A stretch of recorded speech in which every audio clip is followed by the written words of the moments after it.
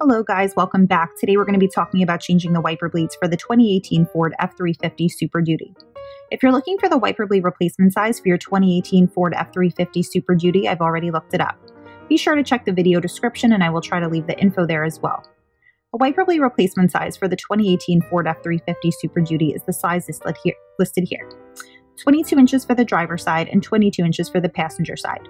So as you can see, the wiper blade replacement size for the driver and passenger side will be the same size.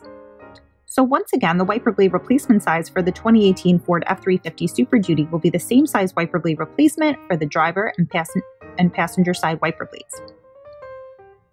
If your 2018 Ford F350 Super Duty uses a different size wiper blade replacement size, please be sure to leave a comment and let the rest of us know.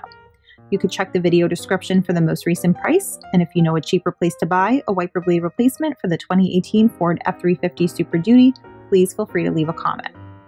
Now, some reasons why you'd want to change a wiper would be because they're damaged, stolen, old, or just not working properly. So I suggest changing them about every six months or so. This seems to be the amount of time that they last before you'd have to go ahead and change them out for new ones. So I thank you guys so much for taking the time to watch my video. And if you found it useful, please feel free to leave a comment. Thanks everybody and have a great night. Old or not working properly.